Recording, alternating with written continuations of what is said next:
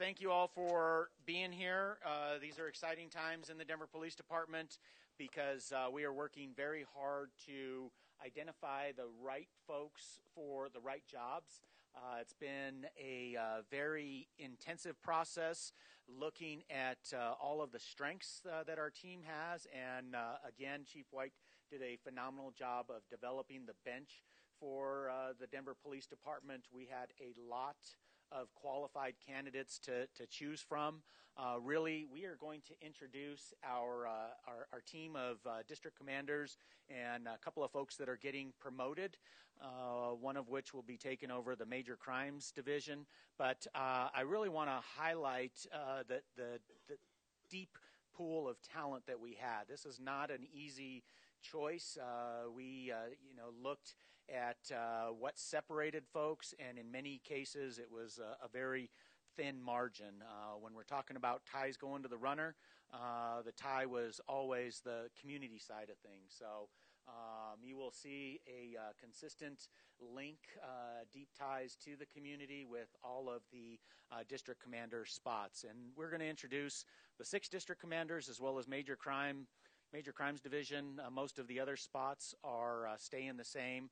There's some consolidation that takes place. We are uh, eliminating a couple of commander positions, streamlining a, a, few of them. And again, the entire purpose behind this is so we can be more nimble and address the community's needs in a more timely fashion. So, very excited to uh, introduce the team. We'll, we'll start with uh, major crimes. Come on in. This is. Uh,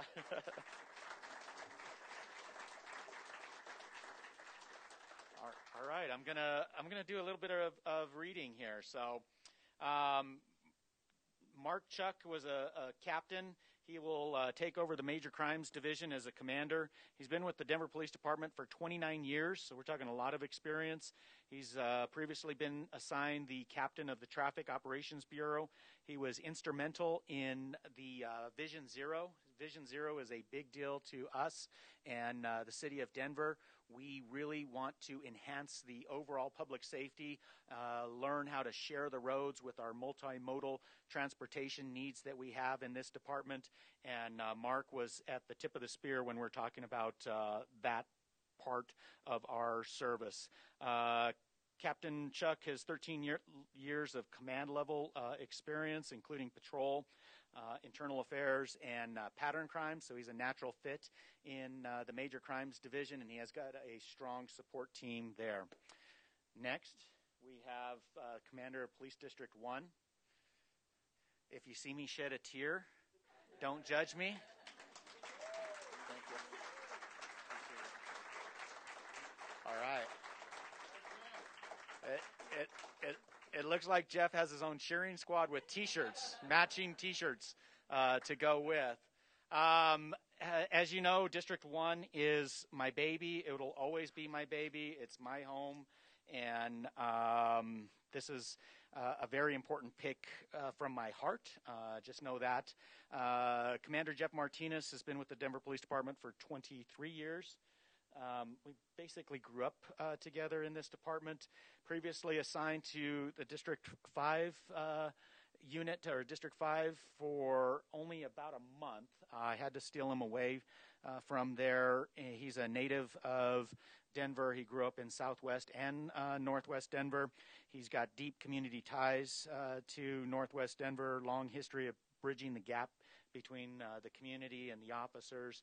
So uh, when we're talking about the, the person to replace me in District 1, I told the council member that I was going to pick somebody better than me, and Commander Jeff Martinez is better than me in that role. So thank you. Uh, super excited for this, Reverend. There we go.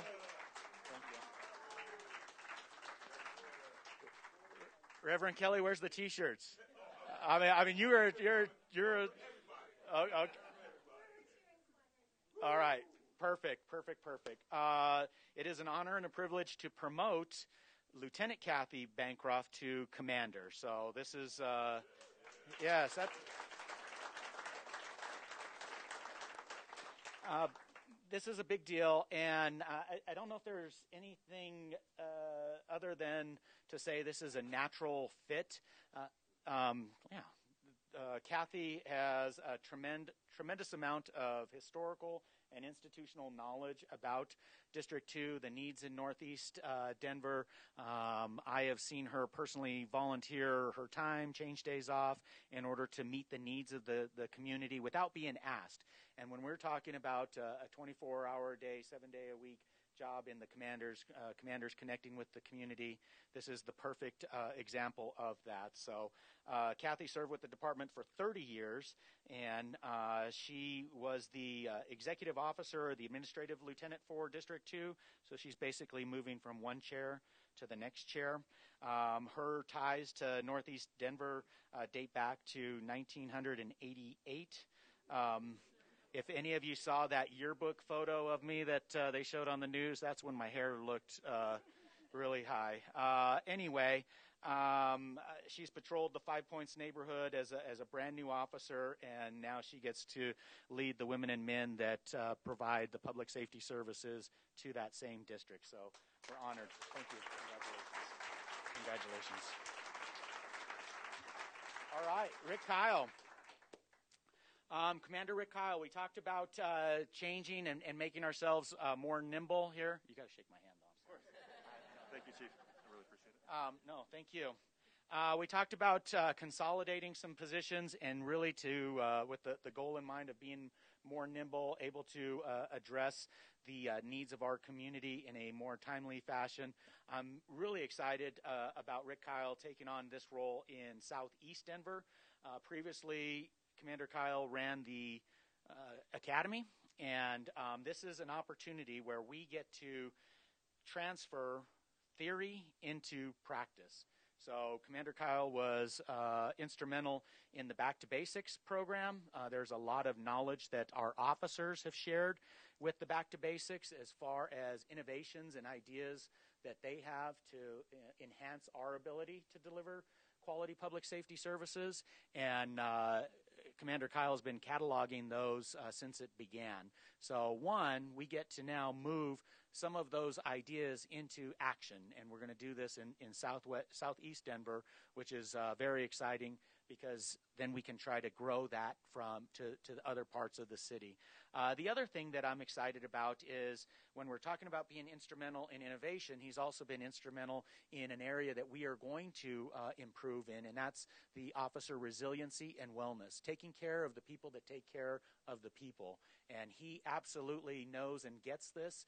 And uh, District 3 has a large contingency of officers assigned to that district, so uh, we'll be doing a lot of creative ways and uh, innovative ways, not only serving the, the people of Southeast Denver, but also the officers who serve the people of Southeast Denver. So I'm really excited about this uh, opportunity. So, Rick, thank you. Thank you All right.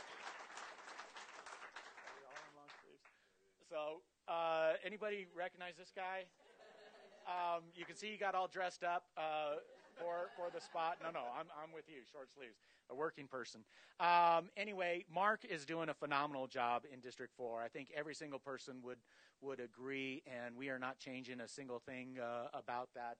Um, we're excited. Uh, Mark and Jeff work uh, very closely together. A lot of the issues cross uh, district boundaries there, so we're going to be able to continue that seamless approach to addressing some of the quality of life and crime issues that we see in uh, District 4. Um, so Mark's going to continue in that role. He's demonstrated uh, very effective strategies for building uh, connections and trust with uh, young people, the Spanish-speaking community, immigrant communities, and uh, we're faith-based organizations. Father Joseph Dang, thank you so much for being here. Um, so we're uh, very excited about uh, continuing that and then enhancing that with the rest of our team. So Mark, welcome back. thank you. Thank you. Thank you. Marcus.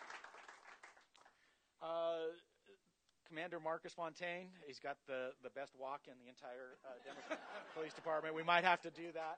We should have walk up music for you, right? Um, anyway, uh, the good people of uh, far northeast Denver will get to know uh, Marcus here. He served the police department for 27 years He has uh, previously been assigned to the Operations Support uh, Division. He has got a uh, extensive history when we're talking about command level uh, assignments in operations, investigations, patrol. He's got some community. Uh, he's, he's, led community teams, which is a great asset that we will tap into significantly. Um, he's the right person for the job, and I, I, do want to say uh, the executive team, the division chiefs, the deputy chief uh, have weighed in on all of these uh, spots. We, uh, we, we went through, hashed it out, thought about it, hashed it out, thought about it, and uh, I'm very excited about every single member. Can't wait to see all of the great things that Marcus is going to do in District 5. So, congratulations. Moving roles. Thank you very much. And then uh, last but certainly not uh, least, at least for the uh, the introductions that we're doing, this is uh, future Commander Aaron Sanchez. So Aaron will be getting promoted as well, going from lieutenant to commander. This will all be effective on Sunday. And uh, Aaron, uh, so District Six, what a Tammy, where are you? yeah what a job, right? Uh, Division Chief Saunier can tell you that. Tony Lopez Sr. could tell you uh, that District 6 is very unique, lots of um, challenges. And, and again, uh, our team thought long and hard about uh, identifying the right person for the job. Aaron uh, has served with the department 26 years. He uh, most recently was assigned to Intel. Uh, we talked about this a little bit earlier. Uh, when you're talking about the 24 hour a day, seven day a week job, uh, Intel's one of those jobs. And so he's used to that high pace that uh, District 6 will throw at him uh, immediately. Uh, he's been in investigative support. He's helped us out with the ShotSpotter program that many of you are aware of. He has he also is a Denver native. Um, unfortunately, he went to that Lincoln High School somewhere that you may have heard of. Um, yeah, yeah. The, the the the only thing that our executive team got wrong is that there's four Lincoln Lancers um, in the room, so uh, we can get past that. I promise. Um, so, so Aaron, uh, not only did he lead a neighborhood police uh, officer team, he was also a neighborhood police officer himself, and he's got about eight years of experience directly interacting with uh, community members. Um, he's helped to out uh, on his own organize outdoor recreation events and trips uh, with uh, young people to better engage uh, relationships there.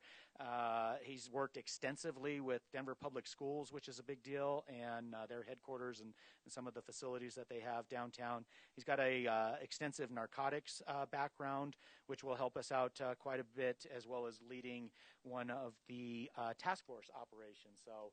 Um, this, these are the, the folks, and by no means you'll get a full bio on, or you'll get a bio on all of the uh, additional commanders, most of, the, which are staying in their same positions. Uh, these are the folks that typically work out of the headquarters um, bureau. They do a, a great job for us. But when we're talking about the individuals that are interacting with uh, officers, uh, or excuse me, with community members on the street, uh, it's the six district commanders that, that people typically interact with. So these are the folks.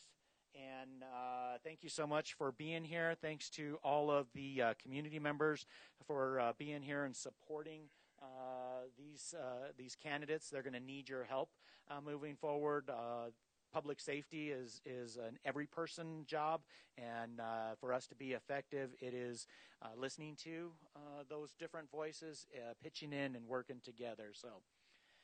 With that, uh, if there's any questions, most of which I'm going to let the, the individual commanders uh, answer.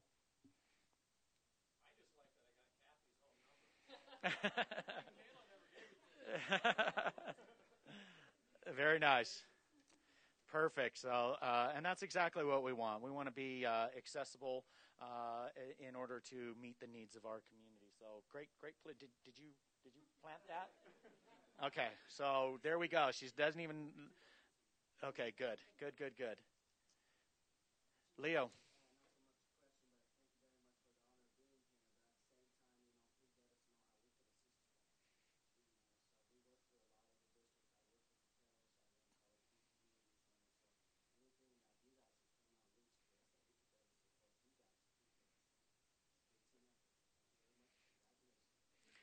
Leo, thank you. You hit the nail on the head. Uh, us working together is how we're going to increase the safety for the people of Denver. Great point. Great point. Reverend?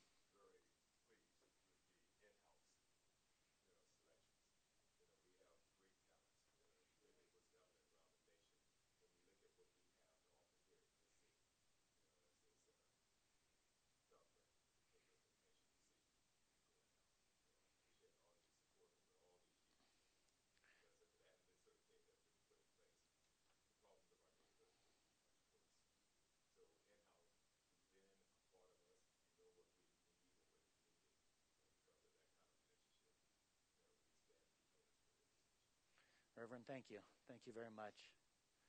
Director Riggs, you got anything you want to add? Okay. Mr. Martinez.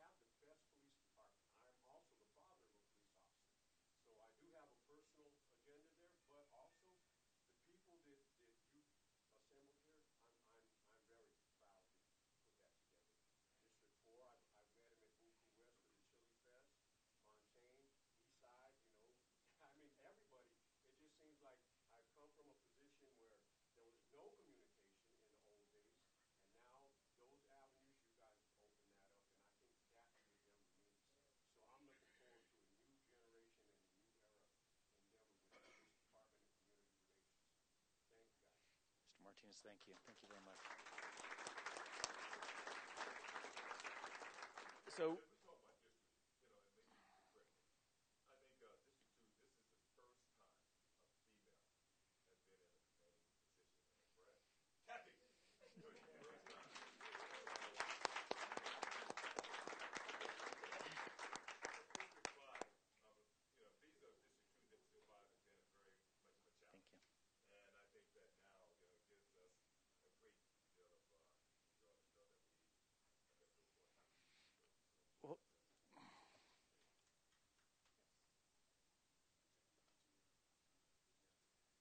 chief is heading out. He has a budget meeting to go to, so he's going to make sure he can fund everything next year.